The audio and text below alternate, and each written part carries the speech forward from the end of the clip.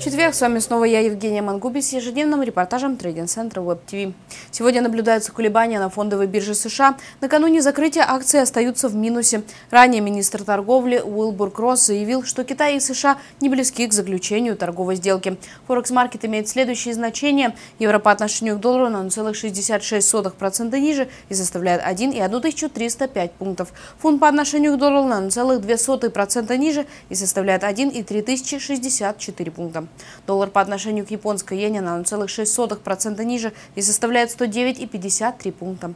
Пара австралийского и американского доллара продолжает снижаться. Курс валют опустился ниже восходящей линии тренда и ограничен скользящими средними. Краткосрочные позиции будут ниже 0 и 7125 пунктов со значениями 0 и 7075 пунктов и 0 и 7055 пунктов.